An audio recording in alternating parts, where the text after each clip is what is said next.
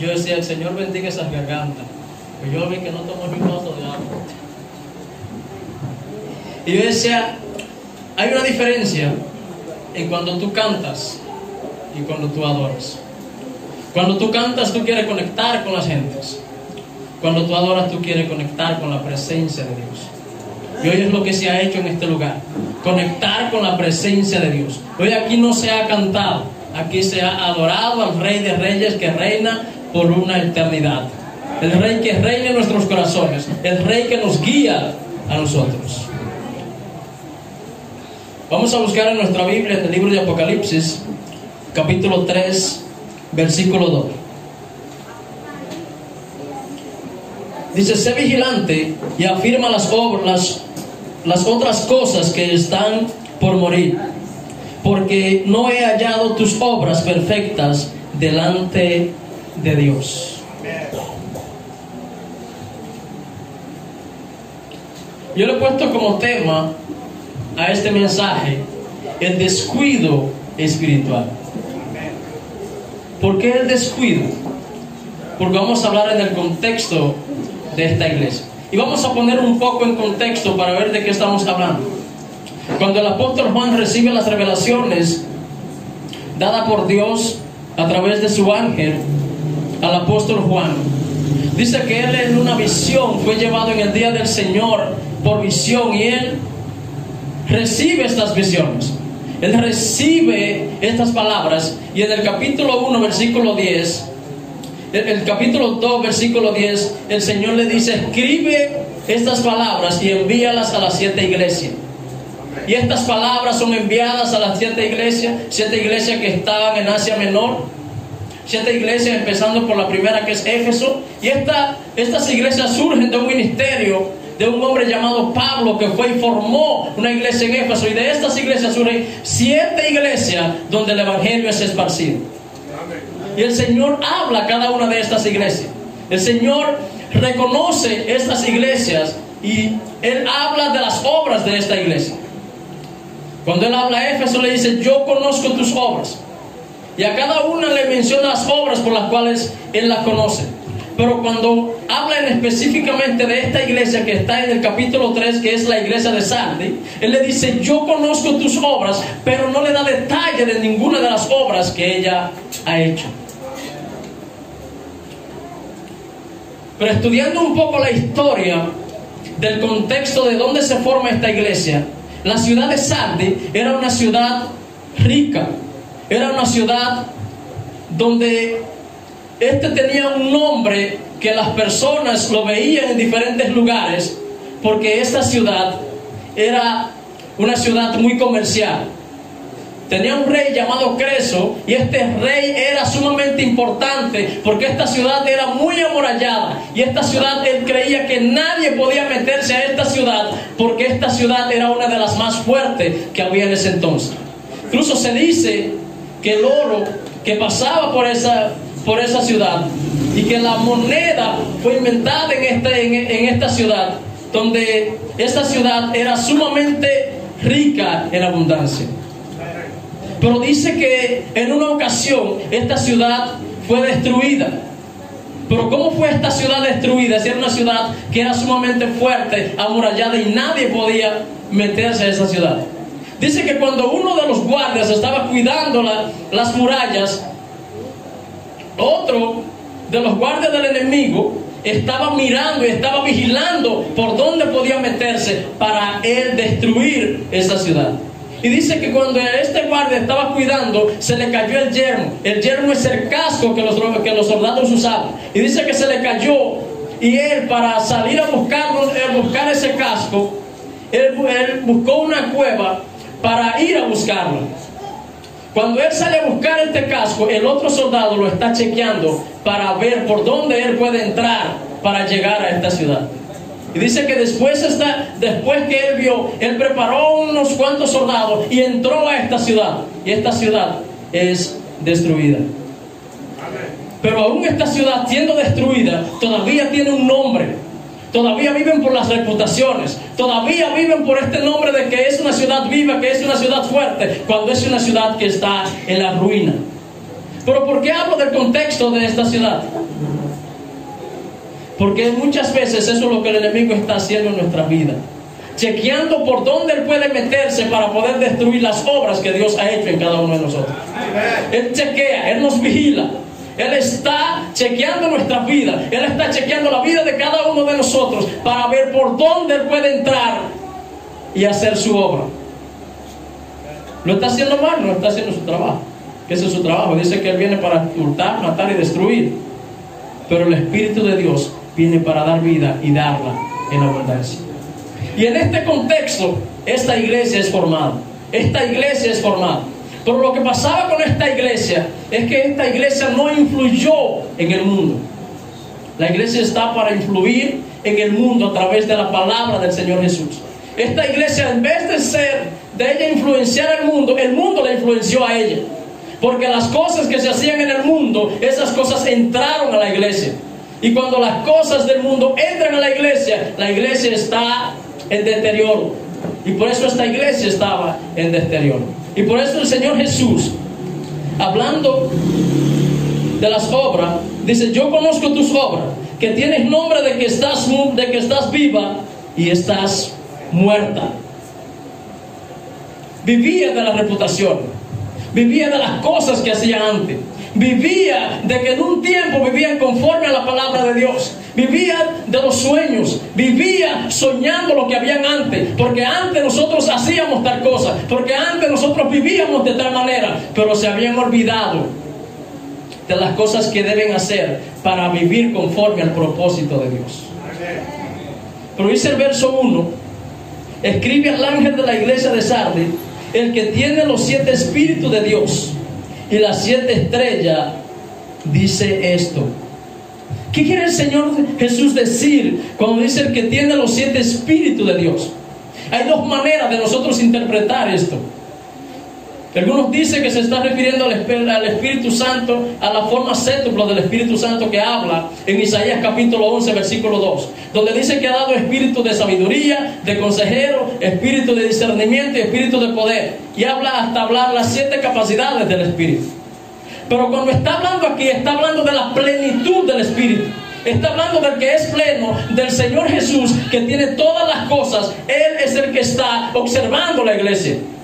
Y me gusta esto, porque nos da a entender de que Él está observando la iglesia de que Él está mirando nuestras vidas, de que Él está mirando nuestro proceder, de que Él está mirando nuestra forma de vivir, de que Él está mirando la forma en donde nosotros, en cómo nosotros nos estamos comportando y cómo nosotros estamos presentando el Evangelio del Señor Jesucristo. Amén. Lo que mantiene una iglesia viva es el Espíritu Santo de Dios. Lo que produce el Espíritu Santo de Dios. Gálatas 5:22 dice que el fruto del Espíritu es amor, gozo, paz, paciencia, benignidad. Y cuando nosotros practicamos todo eso como hermanos a través del Espíritu Santo de Dios, estamos unidos y estamos firmes para vencer las artimañas del enemigo, porque el Espíritu Santo está en nuestras vidas. Cuando esa plenitud de Cristo está en nuestros corazones, nosotros vivimos de una manera sumamente especial y próspera espiritualmente en nuestras vidas. Cuando habla de las siete estrellas, habla de las siete iglesias, siete iglesias que existieron en aquel tiempo. Él ya habló aquel tiempo, pero también nos habla a nosotros en este tiempo. Iglesias que existieron en aquel tiempo, iglesias que existen en este tiempo. Pero ¿por qué no se quedó en aquel tiempo. Porque hoy nosotros vemos las mismas obras que en aquel tiempo. Porque hoy nosotros descuidamos lo mismo que descuidaban en aquel tiempo. Porque hoy nosotros vivimos de apariencia como vivían en aquel tiempo. Porque hoy nosotros vemos personas que pueden decir, yo soy fulano de tal en Cristo Jesús. Pero hay que ver el trasfondo si en verdad vive conforme a la palabra de Dios. Otra cosa que mantiene la iglesia firme es la palabra de Dios. Una iglesia que conoce la palabra de Dios. Una iglesia que vive conforme a la palabra de Dios. Una iglesia que está a la brecha y se para ante el enemigo y le dice, yo soy vencedor en Cristo Jesús. que aunque vengan turbulencias, aunque vengan problemas, aunque vengan situaciones difíciles, nos podemos mantener firmes porque Cristo es nuestra roca, porque Cristo es nuestra fortaleza. Y vendrán situaciones difíciles, de hecho estamos pasando por situaciones difíciles, pero en todo eso Jehová está con cada uno de nosotros. Pero el versículo 2, que es el verso que estamos exponiendo esta noche, dice, sé vigilante. ¿Qué significa esto? Ser vigilante. Una persona que está a la brecha, una persona que está acechando, una persona que está pendiente de las cosas de Dios. Ahora, ¿cómo nosotros estamos pendientes de las cosas de Dios? ¿Investigando las cosas de los otros o investigando lo que dice las escrituras? Porque cuando nosotros vigilamos, nosotros estamos pendientes de que el enemigo no venga a nuestra vida y venga a destruir lo que Cristo ha hecho en cada uno de nosotros. Dice, afirma las otras cosas que están por morir, porque no he hallado tus obras perfectas delante de Dios. Esta ciudad aún todavía conserva sus ruinas Aún todavía esta ciudad, que es la actual Turquía, conserva sus ruinas, pero ellos siguen creyendo que están vivos. Y dice que las obras de ellos no fueron halladas perfectas delante de Dios. Pero dice que había unas cuantas cosas que ellos tenían que vigilar, que tenían que cuidar para que no murieran. Y nos ponemos a pensar en nuestra vida. ¿Qué hay en nosotros que debe ser vigilante o que debe ser afirmado para que no muera? ¿Qué hay en nuestras vidas que el Señor nos está diciendo? Procura de que eso no muera. ¿Qué hay en nuestra vida que el Señor nos está diciendo? Oye, ponle firmeza a eso, ponle carácter a eso, preocúpate porque el Espíritu Santo de Dios esté restaurando esas cosas. Porque el Espíritu Santo viene a restaurar lo que se había perdido. Porque viene a restaurar las cosas que están por morir. Y hay muchas cosas que están por morir. Hay muchas cosas por las cuales el enemigo nos está acechando. Hay muchas cosas por las cuales el enemigo está tratando de buscar la brecha por entrarse en nuestra vida. En nuestra familia, en la iglesia, con nuestro vecino, con nuestros hermanos. Si él destruye todas esas cosas, destruye tu vida y destruye la iglesia. La familia. ¿Por qué quiere destruir las cosas de la familia? ¿Por qué no quiere que nosotros como cristianos defendamos la familia? Porque la familia es el núcleo de la sociedad, pero también es el núcleo de la iglesia. Sin familia no hay sociedad, sin familia no hay iglesia. Y de hecho fue la primera institución que Dios creó en el Génesis, que es la familia.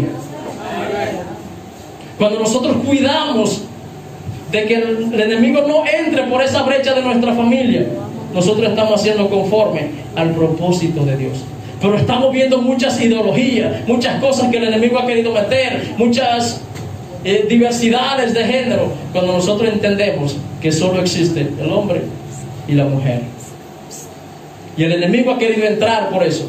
Incluso muchas personas han sido eh, metidos presos y castigados por hablar esas cosas que son verdades conforme a los propósitos de Dios. Entonces cuidemos de que esa obra, cuidemos de que eso que está por morir, viva a través del Espíritu Santo de Dios. Dice, acuérdate pues de lo que has recibido y oído. Y guárdalo y arrepiéntete pues, si no velas, vendré sobre ti como ladrón y no sabrás a qué hora vendré sobre ti. ¿Qué hemos oído? ¿Qué oyó esta, esta iglesia en el primer siglo? Oyó el mensaje de la palabra de Dios. Oyó la palabra de Dios que en el principio ardía en sus corazones. En el principio ellos trataban de hacer conforme a la palabra de Dios, pero lo descuidado. Cuando descuidamos el ministerio de la palabra de Dios, suceden muchas cosas malas en nuestra vida. Entonces el Señor nos está diciendo, recuerda lo que has oído Debemos de recordar ¿Qué nosotros hemos oído? ¿Qué oímos cuando venimos a la iglesia? ¿Qué oímos cuando venimos a escuchar al, al pastor aquí predicar? ¿Escuchamos historia? No, escuchamos palabra de parte de Dios. Entonces a eso el Señor se refiere. De que nosotros esas palabras, que nosotros oigamos, las pongamos en prácticas en nuestra vida. Porque no simplemente ser un oidor, es ser un hacedor de la palabra de Dios. Santiago 1.22 dice que hay una persona que se mira en el espejo, pero después que se quita no sabe lo que vio. Pero hay una persona que mira atentamente, hablando de la persona que es oidor y de lo que es hacedor. Hay una persona que oye, qué bueno estuvo el mensaje, habló la palabra de Dios. Qué bueno escuchar esa palabra. Cuando tú le preguntas, ¿cuál fue el tema? No sé, pero estuvo bueno. Pero cuando somos hacedores de la palabra de Dios, nosotros oímos, escuchamos y ponemos en práctica. Poner en práctica la palabra de Dios es nosotros obedecerlas y llevarlas a nuestros familiares y hacer, hacerlas cumplir en nuestra vida. Lo que dice, lo que le dijo Dios al pueblo de Israel, que esas palabras sean oídas en tu familia, tus hijos, los hijos de tus hijos, y que en tu casa tú pongas en tu pared estas palabras, estas palabras, y en el camino tú expongas estas palabras. Que el Señor haga resplandecer su palabra en nuestras vidas. La palabra de Dios dice en Hebreo 4:12 dice que es una palabra, es una espada de dos filos Dice que penetra hasta lo más profundo de nuestro corazón, hasta lo más profundo de nuestro ser. Dice que discierne los pensamientos. Dice que penetra hasta partir el alma, porque la palabra de Dios es tan profunda que cuando ella llega a nuestra vida, esta palabra no llega vacía. Esta palabra va y destruye todo lo que no es de Dios y pone firmeza a lo que es de Dios. ¿Y qué destruye? Destruye nuestro orgullo, nuestro yo, Muchas veces se nos sale de eso. Nuestro yo, ¿sabe? Yo, yo, yo, y solamente yo. No es yo, es Dios. Es Dios que hace lo que, que hace cosas maravillosas en nuestras vidas. Es Dios que restaura nuestra vida. Es Dios que transforma los corazones. Es la palabra de Dios que transforma la vida de las personas. Cuando la iglesia es segmentada en la palabra de Dios, que lo que se exponga sea la palabra de Dios, que todos nosotros seamos expuestos a la palabra de Dios, esas palabras van a transformar las vidas y los corazones de las personas. Porque no es nosotros. Nosotros podemos hablar lo más bonito que hablemos, pero esas palabras de nosotros no van a hacer nada. Al contrario, nosotros necesitamos ser cambiados por esa palabra. Pero el verso 13 dice, y dijeron, y todas las cosas son descubiertas, porque no hay nada oculto delante de Dios. Por eso le dice, yo conozco tus obras, porque nada puede esconderse a Dios, porque nada puede, nada se le escapa de sus manos. Yo conozco tus obras, yo sé lo que tú has hecho. Tú dices que estás viva, pero tú no estás viva nada, tú estás muerta. Pero ¿sabes qué? Yo te voy a dar la oportunidad de que aún diciéndote que estás muerta, yo te voy a dar la oportunidad de que si tú haces las primeras obras, las que hacías antes, que si tú te expones a la palabra, que si tú te expones a mi Espíritu Santo, yo te voy a dar vida de nuevo. Y Él da la vida. Pues me gusta el verso 4. Dice, pero tienes unas pocas personas de Sardes que no han manchado sus vestidos y, y andarán conmigo en vestiduras blancas, porque son dignas. Esto me gusta, porque hay personas que en medio de las tribulaciones, en medio de las dificultades, en medio de las acechanzas del enemigo, se mantienen firmes delante del Señor. Y estas personas aunque parte de la iglesia estaba muerta, aunque parte de la iglesia estaba haciendo las otras obras que no eran de parte de Dios, aunque parte de la iglesia estaba obrando que no era conforme al Señor, esas personas se habían guardado. Estas personas no habían manchado sus vestiduras. Estas personas se habían mantenido fieles a Dios. No importa de la manera que vivan las otras personas, importa de la manera que tú vivas delante de Dios. Ahora, ¿cómo estamos delante de Dios? ¿Cómo está nuestra vestidura? ¿Cómo está nuestro andar delante de Dios? ¿Cómo está nuestro caminar delante de Dios? ¿Cómo están las cosas que nosotros hacemos delante de Dios? Le preguntamos, Señor, ¿esto que nosotros estamos haciendo te agrada? ¿O lo hacemos a nuestra forma, a nuestra manera? ¿O lo hacemos como a nosotros nos da la gana? Vivir conforme al propósito de Dios es vivir para la palabra, es vivir conforme a Él. Y Él dice, hay unas pocas personas que no han manchado su vestidura. Y esperamos en el Señor que dentro de todas las personas que han dejado de hacer las cosas del Señor, nosotros seamos de esas pocas personas, las cuales el Señor aquí está elogiando, que ellos van a caminar con Dios. Que nosotros seamos los que caminemos con Dios. Que nosotros seamos esas personas a los cuales se les diga, vení a mí, bendito de mi Padre, a morar conmigo. Y nosotros queremos morar con Cristo. Esa es nuestra visión. Por eso le adoramos, por eso le amamos, por eso le servimos. Porque un día Él nos ha prometido que nosotros vamos a estar con Él. Esa es la promesa. Y yo creo en esa promesa. Vivir conforme al propósito de Dios, para adorarle, para bendecir su nombre.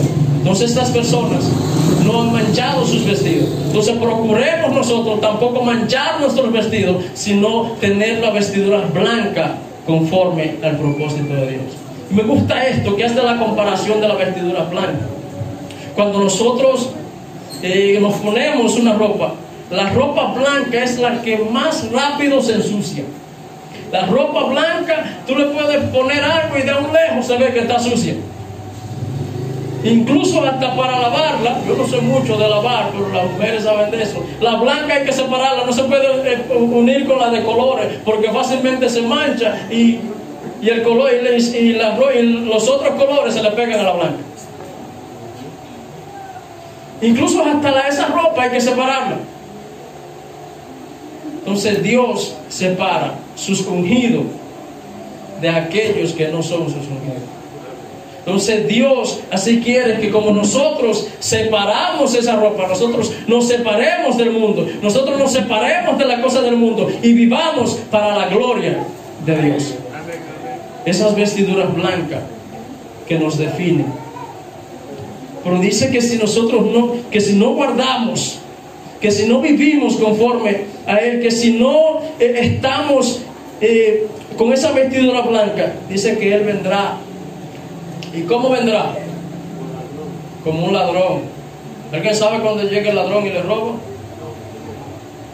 Incluso el ladrón tiene una peculiaridad, que él no llega a tu casa sin antes él vigilar y ver si tú estás ahí. Incluso dura semanas, dura días, chequeando ese, ese lugar para poder entrar, para ver a qué hora tú sales, para ver a qué hora tú llegas, para ver que, si queda gente en la, casa, para ver si la casa queda sola, para ver el tipo de candado que hay, para ver cómo él puede, puede abrirlo, si puede abrirlo con, con, un pincho o puede abrirlo con, con un abrecandado. Incluso hasta el ladrón chequea todo eso. Y dice que así Él vendrá como ladrón, cuando nadie se le espera, cuando nadie crea que viene el Mesías, ahí Él vendrá a buscar a cuáles, aquellos que se han mantenido fieles delante del Señor, aquellos que en medio de situaciones no han, eh, no han manchado su ropa. Entonces, ¿qué nos quiere decir esto? Que como nosotros no sabemos el día ni la hora, nosotros debemos estar velando en el Señor 24-7 siempre. Los siete días de la semana, las 24 horas del día. Velando, orando, escudriñando las escrituras, para cuando Él venga, encontrarnos preparados. Y que Él no nos diga, como le va a decir alguno en Mateo capítulo 7, versículo 21, versículo 21 en adelante. Nunca os conocí, apartados de mí, hacedores de maldad. Yo le tengo miedo a muy pocas cosas, por no decir a nada. Pero yo le tengo terror al que el Señor un día me diga, ¿sabes qué? Yo no te conozco.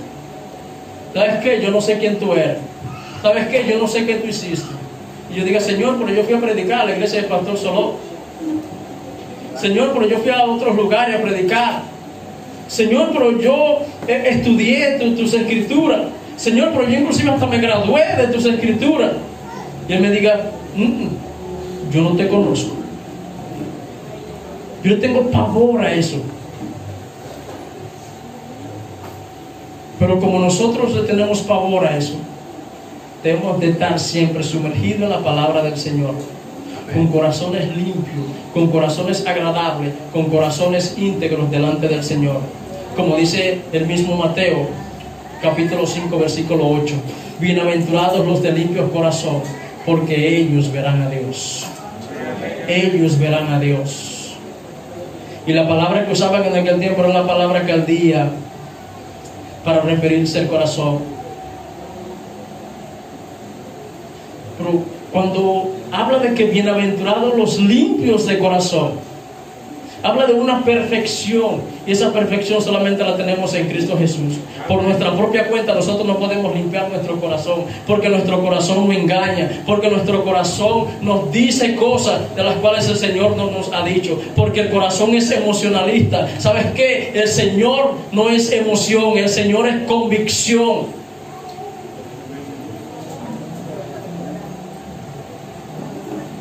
Entonces cuando tenemos un corazón emocionalista, ¿sabe qué hace nuestro corazón? Nuestro corazón nos hace pelear con nuestro hermano, nos hace discutir con nuestras esposas, nos hace estar mal con nuestros vecinos. ¿Y sabes qué pasa un hermano? Y te dice, varón, ¿cómo tú estás? Dios te bendiga. Amén. Estoy prosperado y en mi historia. Pero acabaste de discutir con tu hermano. Porque nuestro corazón nos engaña. Pero cuando tenemos un corazón limpio delante del Señor, que es donde tenemos la palabra catarsis o cataros. Una limpieza profunda. Una limpieza de mente, de pensamiento, que es lo que hacen los psicólogos con las personas cuando los llevan a consulta. Tratan de limpiar sus pensamientos, tratan de limpiar su mente para que tengan una vida más saludable. Y eso es lo que el Señor hace con cada uno de nosotros. Que nuestra mente, nuestro corazón nuestra alma estén limpias Eso hacen estas personas que guardan su ropa, que guardan sus vestiduras. Y el Señor los va a vestir con vestiduras blancas. El blanco significa pureza.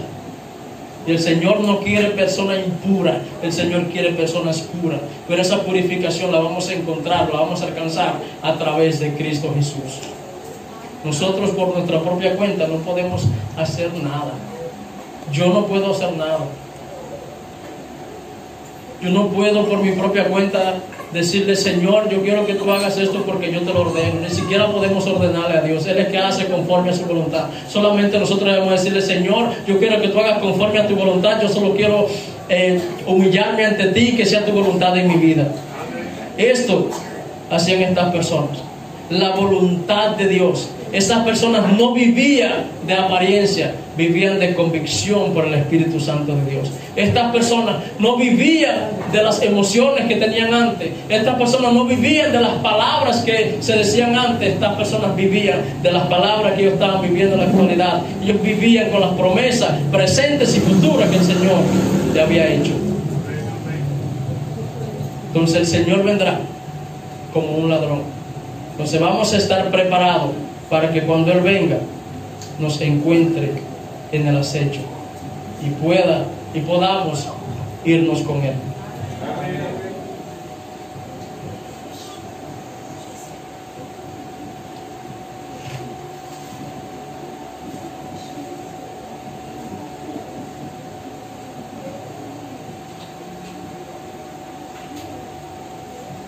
Y dice, el que tiene oído, oiga lo que el Espíritu dice a las iglesias.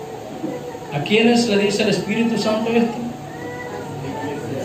¿Y quiénes son las iglesias? ¿O quiénes son la iglesia? La iglesia no son estas cuatro paredes. Esto es, esto es solamente un templo donde ahorita nosotros salimos, este templo queda vacío.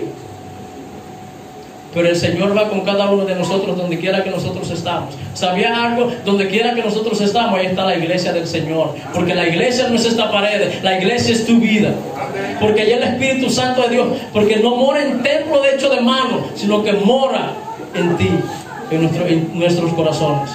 Y este templo fue hecho de mano, que está bien bonito. Porque el Señor hace eso, usa las personas para reflejar su belleza. Entonces esto lo dice a la iglesia. Pero estamos nosotros escuchando esas palabras. Estamos nosotros poniendo obediencia a estas palabras.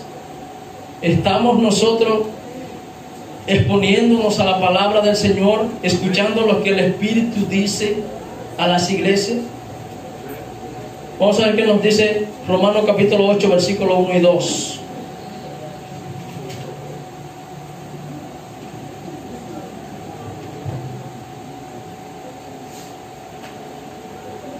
Dice, ahora pues, ninguna condenación hay para los que están en Cristo Jesús, los que no andan conforme a la carne, sino conforme al Espíritu. Porque la ley del Espíritu de vida en Cristo Jesús me ha librado de la ley del pecado y de la muerte. Dice, ahora pues ninguna condenación hay. ¿Para quiénes? Para todos. Para los que están en Cristo Jesús para aquellos que se han guardado, para aquellos que han permitido que pasen todas situaciones, pero ellos permanecen fieles delante del Señor. No hay condenación para esas personas, solamente hay salvación de parte de Cristo. Pues vamos a tratar de que esta salvación, que es tan buena, que es tan agradable, que es tan eficaz, no sea solamente para nosotros, sino que nosotros podamos repartírsela a otros. Y mira lo que el Señor ha hecho en cada en mi vida. Mira lo que el Señor ha, hecho. Yo era de tal manera, pero el Señor ha cambiado mi vida a través de tu Espíritu Santo. ¿Y cómo lo hacemos eso? A través de nuestro testimonio y hablando la palabra del Señor. Porque los apóstoles hablaban por su testimonio, pero también hablaban por las palabras. Pero no hablando analogías y dando algunas fábulas, hablando la palabra del Señor, que es lo que va a cambiar las vidas de las personas. El mismo Romanos 8, capítulo 26, versículo 26 al 27. Dice, y de igual manera el Espíritu nos ayuda en nuestras debilidades, pues ¿qué hemos de pedir como Como conviene, no sabemos, pero el Espíritu que intercede por nosotros con gemidos indecibles, más el que escudriña los corazones sabe cuál es la intención del Espíritu, porque conforme a la voluntad de Dios intercede por los santos. Y sabemos que a los que aman a Dios, todas las cosas le ayudan a bien. Esto es, a los que conforme a su propósito son llamados.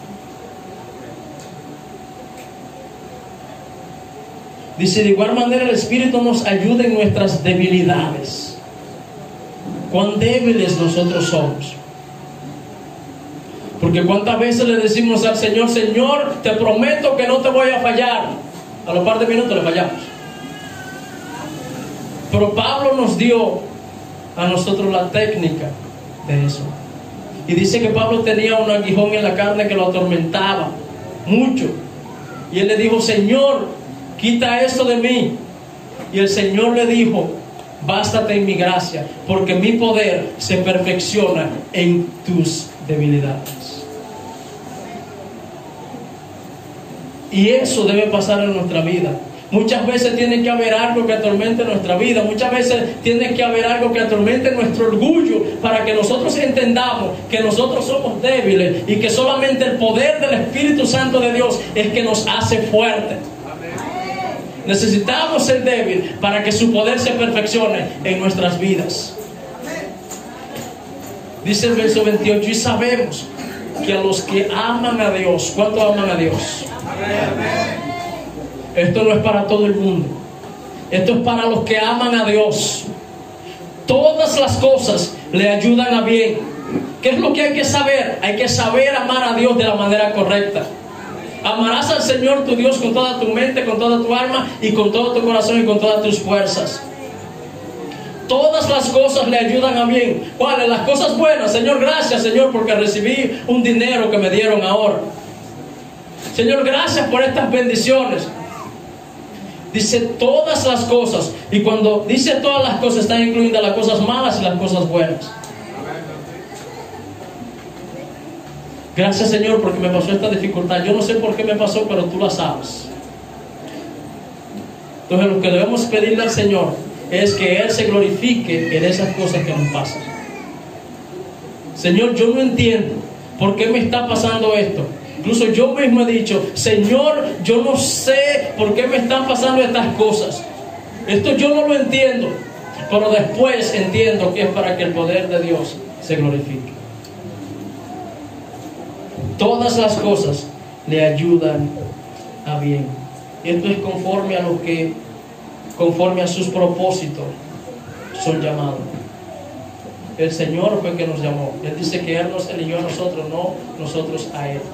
Y eso es lo bueno, que fue Él que nos eligió, que fue Él que nos llamó y que fue Él que nos puso su propósito en nuestra vida. Porque nosotros, por nuestra propia cuenta, por nuestra propia fuerza, nosotros no iríamos. Le diríamos, Señor, yo no, ¿sabes qué? Yo no puedo ahora, yo tengo muchas cosas que hacer. ¿Sabes qué? Yo tengo que, todavía me falta gozar unas cuantas cosas en el mundo, como dice la gente, que en el mundo es que se goza. Bueno, pues que venga aquí para que vea cómo nos gozamos los cristianos. Pues que venga aquí para que vea cómo nosotros cantamos al Señor. Y esa es una de las canciones que más me gusta, la cantó el varón que ya nosotros no somos esclavos del temor, porque nosotros somos hijos de Dios, porque nosotros somos hijos del Eterno, porque nosotros ya no vivimos conforme al pecado, sino vivimos conforme a Dios, porque nosotros no vivimos en el espíritu del pecado, sino vivimos conforme a los frutos del Espíritu de Dios, porque ya nosotros no vivimos en la maledicencia, sino que vivimos en el amor de Cristo Jesús, porque ya nosotros no practicamos los deseos de la carne, sino que vivimos bajo los frutos del Espíritu. ¿Cuáles son esos frutos? Amor, paz, gozo, paciencia, benignidad, bondad, mansedumbre. Todas esas cosas que chocan con cada uno de nosotros. Practicar amor a alguien que te odie. Cuando alguien te dice una cosa obscena, tú decirle Dios te bendiga. Cuando alguien te dice espera, ya voy llegando y todavía no ha salido de su casa, hay que practicar la paciencia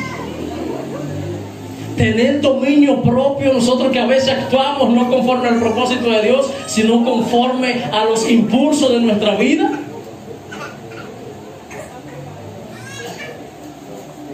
Entonces el Señor nos da la clave, porque el fruto del Espíritu es ese. Y esto era lo que pasaba en la iglesia de, de, de Sardes. Ahora, ¿qué pasa en, nuestra, en nuestro tiempo?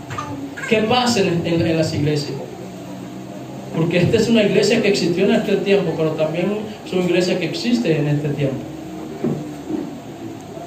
Personas que han olvidado la obra, pero hay personas que todavía se han guardado.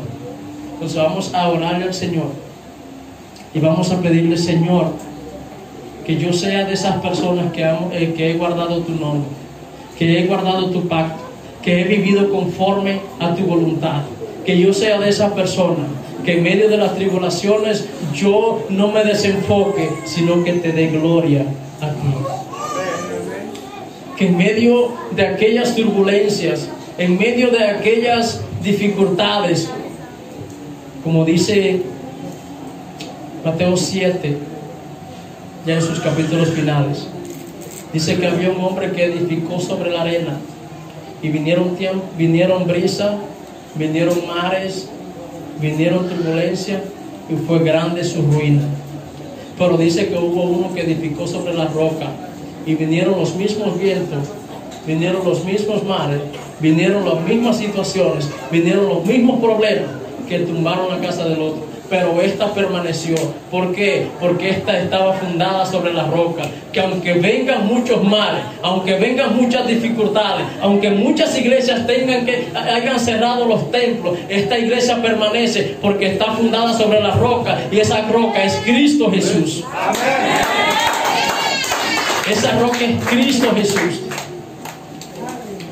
Muchos querrán hablar en contra de la iglesia, pero nosotros tenemos un abogado que nos defiende y ese es Cristo. Dice, no, ellos no son así porque yo los defiendo y ellos no van a caer porque yo estoy con ellos. Ellos no van a, no van a ser destruidos porque su vara y su callado nos infundirán aliento.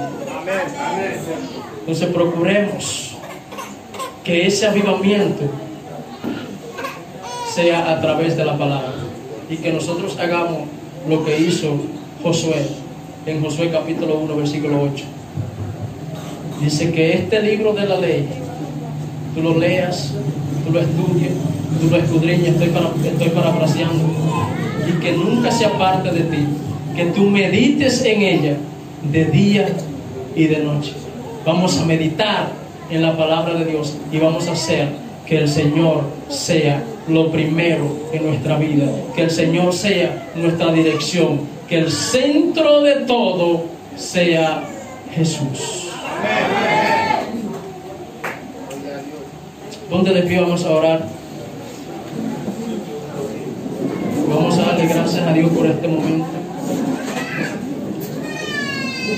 Ahí donde tú estás, levanta tus manos y dile gracias Dios. Dale gracias por, estas, por esta oportunidad. Dale gracias al Señor porque hoy te ha mantenido respirando. Dale gracias a Dios porque hoy tú has podido compartir con tus seres queridos. Dale gracias a Dios porque hoy tú pudiste ver tu naturaleza. Porque estadísticamente más de millones y trillones en el mundo han muerto, pero tú estás aquí adorando y glorificando el nombre de Dios. Dale gracias al Señor porque Él te ha sostenido. Dale gracias al Señor porque has pasado por pruebas, has pasado por dificultades, has pasado por tormenta, pero hoy tú estás aquí descansando en los brazos del Señor. Porque hoy, aún en ese cansancio que tiene, Él te dice, vení a mí los que están trabajados y cargados y yo le daré descanso. Porque mi yugo es fácil y ligera mi carga. Aprended de mí que soy más y humilde de corazón. En el Señor hay descanso. Padre, gracias por la oportunidad. Padre, gracias por tu Espíritu Santo. Padre, gracias por tu presencia. Padre, gracias por tus palabras en nuestras vidas. Padre, gracias porque tú, oh Dios, eres glorificado en nuestros corazones. Padre, gracias por este lugar. Padre, gracias por el pastor, Señor. El ángel que tú tienes, Señor, en este lugar para que dirija, Señor, a tu pueblo. Declaramos, Señor, bendiciones hasta que sobreabunde, Señor, en él. Mira, Señor, los quebrantos, Dios, que hay en su vida, Padre de la gloria. Padre, que seas tú, Señor, restaurando su salud, restaurando, Señor, su vida, Padre de la gloria, porque sabemos que hay muchas cosas por hacer. Sabemos, Señor, la capacidad que tú has puesto en él, un hombre de trabajo, un hombre temeroso de Dios, un hombre que se preocupa por las armas. Padre, que tú, Señor, le des, Señor, cada día las fuerzas, la fortaleza para seguir adorándote de una manera especial. Padre, que tú cada día sea su guía, sea, Señor, su caminar, como siempre lo has hecho, Padre de la gloria. Padre, que tus palabras sean lámparas a sus pies y a en el camino por donde quiera que Él vaya. Padre, gracias por esta iglesia. Gracias, Padre, por estas personas, Padre eterno, los cuales, Señor, tú has traído en este lugar. Padre, los cuales, Señor, tú tienes en este lugar para que te adoren. Padre, que en el nombre de Jesús, donde quiera que ellos estén, Señor, sean los portavoces de tu palabra, sean los portavoces de ti, sean los atalayas, Señor, que hablen del poder de tu Espíritu Santo. Padre, que ellos testifiquen lo que tú has hecho en ellos, esa sanidad que tú le has dado, esa palabra, Señor, que tú le has dado. Padre, ese, ese don, Señor Padre eterno, que tú has puesto en cada uno de ellos. Que lo desarrollen, Señor, para adorarte, Dios. Padre, gracias por los adoradores, Señor. Padre, que, tú seas, Señor, Padre, poniendo palabras en sus bocas, Padre de la gloria. Y que cada día, Señor, ellos se conecten contigo, Dios, para que conecten el pueblo con tu presencia, Padre de la gloria. Gracias, Dios, porque tú le usas de manera especial. Padre, gracias porque en ti, Señor, no hay lenguaje, tú lo conoces todo. Gracias Dios porque tú unes, Señor, diferentes nacionalidades Padre de la gloria, para que te adoremos a ti, Señor. Padre, gracias, porque hoy, Señor, tú has mandado a callar los ángeles, Padre de la gloria, para escuchar lo que se ha hecho en este lugar. Padre, síguete glorificando. Sé tú, Señor, con los días que restan, Padre de la gloria, y que cada día, Señor, sea de gloria en gloria, de victoria en victoria, Señor, de poder en poder, y que vaya, Señor, de menos más, Padre eterno, y que tú seas obrando, Señor, de manera especial en los días que faltan y en todo, Señor, el tiempo que esta iglesia esté en este lugar. Padre, gracias, Señor, porque tú, oh Dios, has obrado de manera especial. En el nombre poderoso de Jesús. Amén.